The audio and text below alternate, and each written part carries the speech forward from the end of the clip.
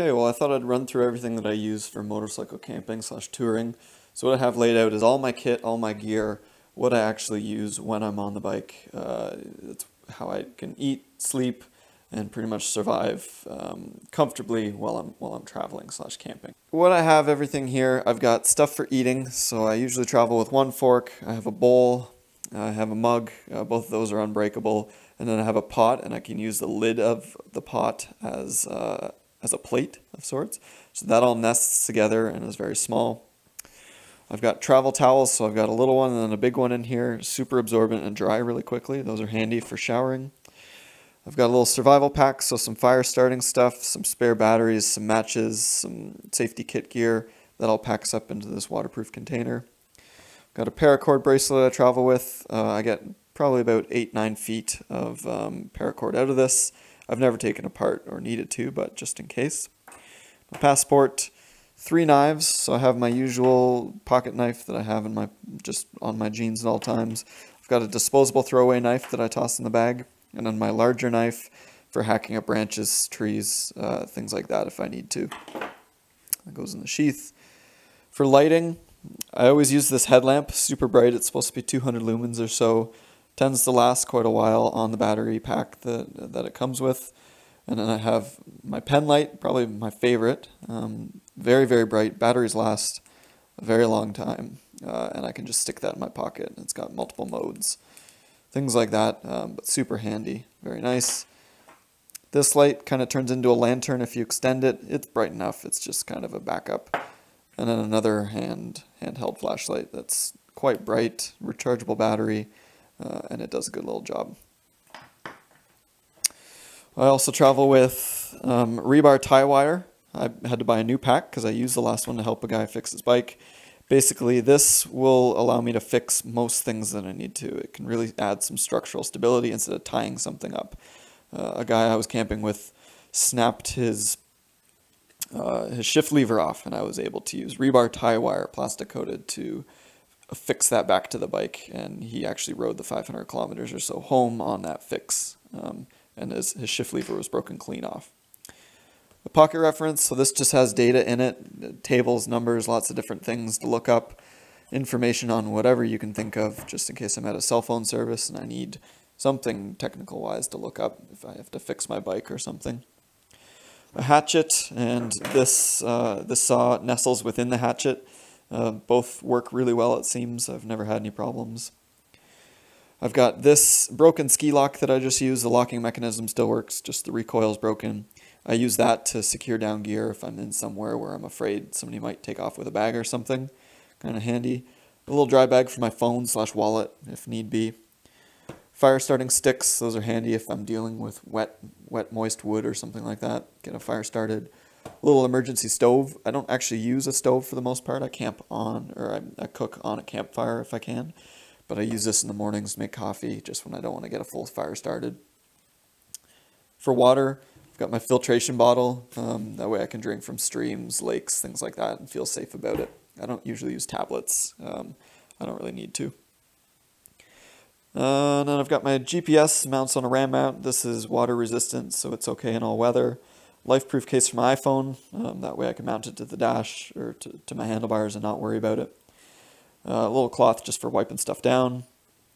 A Bluetooth speaker, so this doubles as a battery bank. So it's got quite a large battery in it and it will charge my phone slash whatever I can plug into it with USB.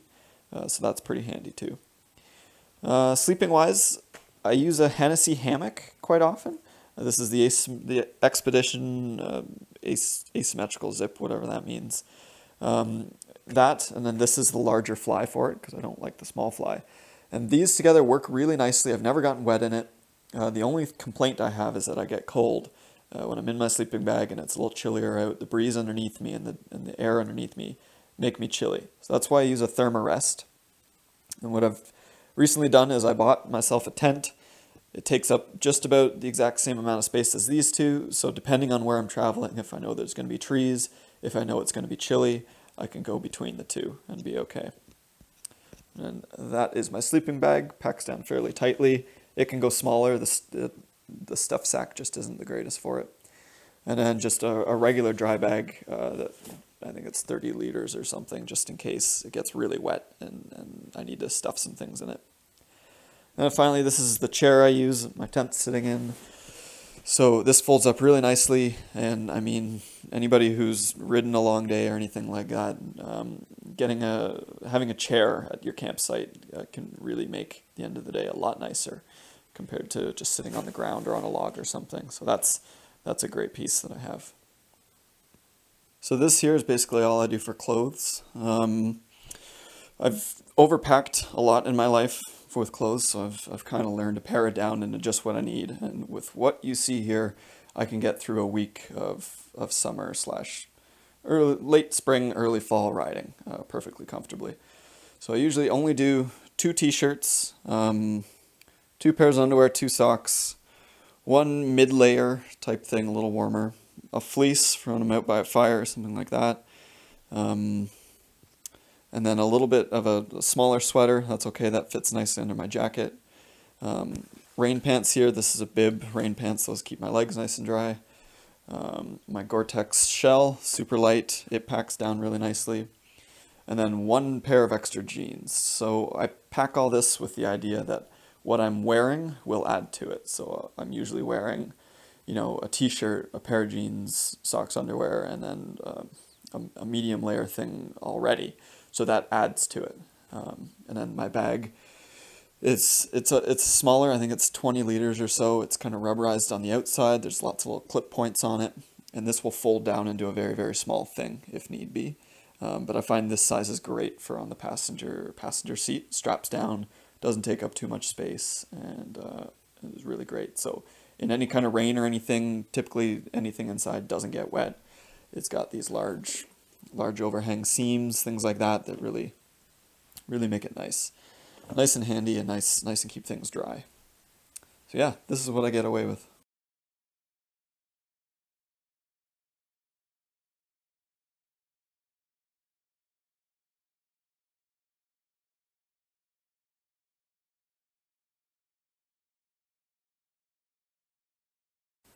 So yeah, everything packs down pretty nightly, pretty nicely just into these three bags. So I've got my tank bag. This is where I stick all my knickknacks, things like that, things that I want it. Just close hands, close hand to put my sunglasses in here, my passport. Um, I can put change in here for when I'm taking tolls, things like that. So that's really handy.